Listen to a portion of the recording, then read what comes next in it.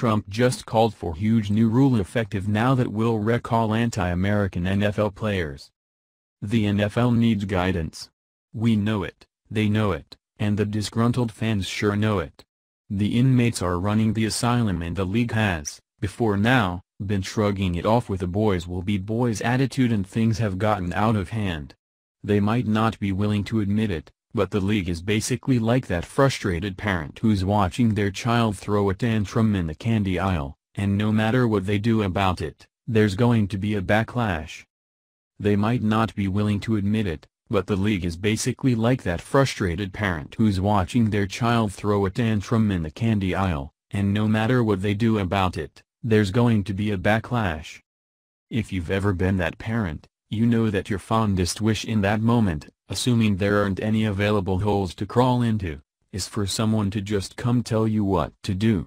Well, it's the NFL's lucky day, because the leader of the free world is telling them what to do and he's obviously ready to back them up if they'll do it. The NFL is hemorrhaging money since this insane protest cranked up, and the league is losing hundreds of millions, if not billions, between lost advertising dollars and federal subsidies that may be cut. They need a game plan that will get their players in line, and the POTUS has given them one. TMZ reported on what the president recommends to cure the NFL's money problems.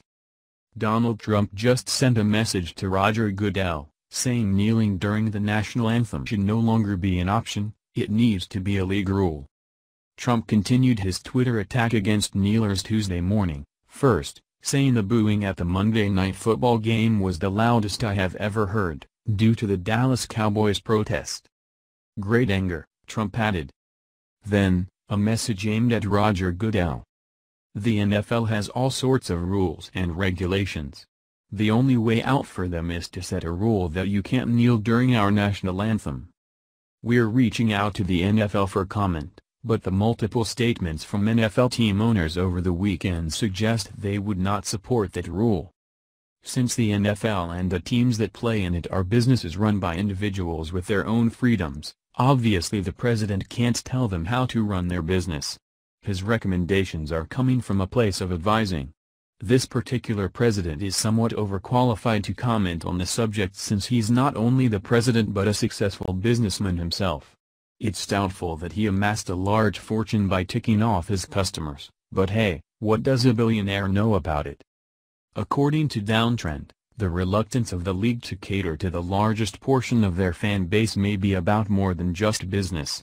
Despite the fact that it's costing them dearly, they may decide on principle that they don't want to take the advice of their former homeboy who left the warm embrace of the uber-rich to help the country out for a while. If they do though, it would be a big mistake. It's hard to imagine the race-baiting left becoming even more unhinged about President Trump's comments blasting the disrespectful conduct of those who kneel for the national anthem but a new tweet is sure to up the irrational hatred and outrage. Following Monday Night Football's choice by the entire Dallas Cowboys football team to hashtag knee before the playing of the national anthem, Trump was quick to resume his jabs at the taxpayer-subsidized entertainment Goliath NFL. The POTUS is now calling for the league to implement a rule prohibiting players from not standing during the Star-Spangled Banner. President Trump is saying something that many Americans have expressed as well, if they can come up with a series of rules regarding a coin toss, why not this? Again, they don't have to, but if they don't they'll be thumbing their nose at the people and country that made them what they are.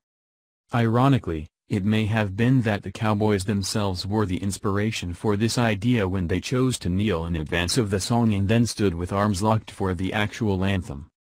If Dallas can choose to not dishonor the flag then why shouldn't their example be followed by all kneelers?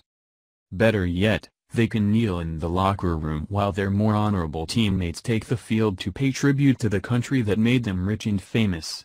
If they can't accept that, then they can just quit and try going out to actually work for a living. There are so many great options to eliminate the offensive and disrespectful display that these players are engaging in, and anyone with two brain cells to rub together could come up with a reasonable one. No one is suggesting that the NFL take away a citizen's right to protest. We're just suggesting that they take the cameras fan-funded cameras off of them since that's not what the fans want to see. The NFL has been given an ultimatum by the president and by their fans, do something about your players or go bankrupt. The ball is in their court, let's see what they do about it. Share if you think the NFL should take the president's advice make a rule against kneeling during the anthem.